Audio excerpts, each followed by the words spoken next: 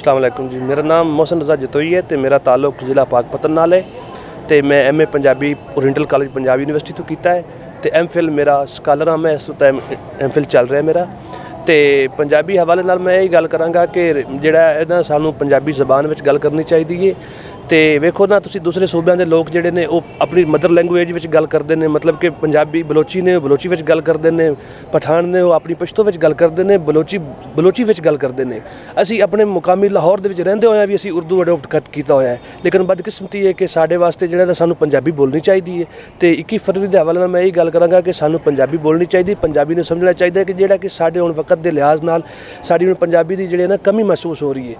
ਬਲਕਿ ਬਾਜ਼ ਇਲਾਕੇ ਤੇ ਐਸੇ ਨੇ ਜਿੱਥੇ ਉਰਦੂ ਵੀ ਲੋਕ ਛੱਡੀ ਜਾ ਰਹੇ ਨੇ ਲਿਹਾਜ਼ਾ ਪੰਜਾਬੀ ਦੇ ਵਿੱਚ ਹੀ ਤਰੱਕੀ ਮਦਰ ਲੈਂਗੁਏਜ ਦੇ ਵਿੱਚ ਹੀ ਹੋ ਸਕਦੀ ਹੈ ਤੇ ਐਫਐਮ ਦਾ ਜਨਾਬ ਮੈਂ ਸੁਣਦਾ 95 ਤੇ ਪੰਜਾਬੀ ਵਾਸਤੇ ਇੰਟਰਟੇਨਮੈਂਟ ਵਾਸਤੇ ਆਗਾਹੀ ਵਾਸਤੇ ਕਿ ਜੋ ਅੱਛੇ ਪ੍ਰੋਗਰਾਮ ਕਰਦੇ ਨੇ, ਉਹ ਸਾਡੇ ਵਾਸਤੇ ਬਹੁਤ ਅੱਛੇ ਹੁੰਦੇ ਨੇ, ਸਾਡੀ ਹੌਸਲਾ ਅਫਜ਼ਾਈ ਕਰਦੇ ਨੇ, ਸਾਡੇ ਇਲਮ ਵਿੱਚ ਇਜ਼ਾਫਾ ਹੁੰਦਾ ਹੈ।